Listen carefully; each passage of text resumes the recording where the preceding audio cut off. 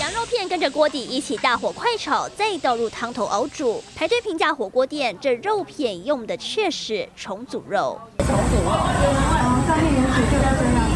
柜台大辣辣挂出告示，配合食药署规定，挑明自己的鸡肉、羊肉为重组，黄豆也使用机改产品。讶异的是，客人一样上门，好像弄母家。只有新闻爆出来的时候，然后才会比较恐惧，然后会去反应。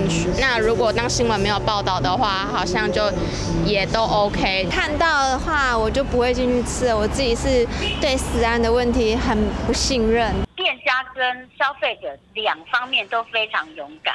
消费者啊，看到这样子的标示，甚至于外面还是这么多的人支持这样的店家，而且还大排长龙。其实对于我常年都在推广食安的的这教育的人呐，其实我真的还蛮心寒的。我要一个低脂牛。不好意思，我们低脂牛是组合肉。如果您要吃的话，我们建议吃培根，培根牛开始全部都原肉。依规定告知消费者，其中市面上的羊肉、鸡肉片百分之百都是使用组合肉。业者坦言，即便知道，还是有人会点，因为一盘下来平均少四五十元，成本考量已经胜过品质要求。七成左右吧，大概是蛮高的。上班族或者是。